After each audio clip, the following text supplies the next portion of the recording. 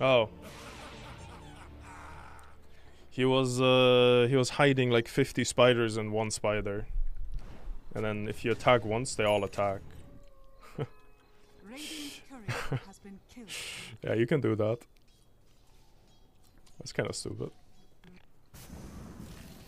Yeah, there. If you if you uh, shift Q the spiders around like 10 times, they all morph into one. So it looks like one, but it's like 50 spiders